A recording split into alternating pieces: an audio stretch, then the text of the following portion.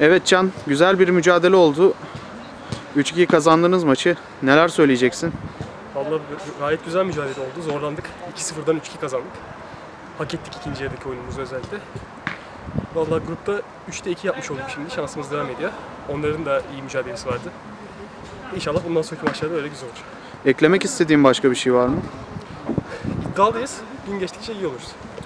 Peki tekrar tebrik ediyoruz. Teşekkürler.